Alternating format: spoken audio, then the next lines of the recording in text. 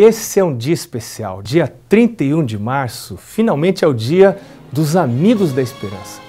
É o dia em que você vai convidar o seu amigo e a sua amiga para ir com você até a casa de Deus. Lá na casa de Deus, a sua igreja, vai ter um programa da escola sabatina, um programa de culto de adoração primorosamente preparado, especialmente para receber visitas. E depois do culto, vai convidar essa pessoa para ir até a sua casa. Você vai partilhar uma refeição saudável, vai conversar, vai orar. Se ainda não ofereceu, pode oferecer o livro A Grande Esperança. Mas o mais importante que deve acontecer ali na sua casa é o convite que você vai fazer para essa pessoa participar com você da Semana Santa. Agora, não convide apenas para a Semana Santa. Convide essa pessoa para buscar Jesus junto com você.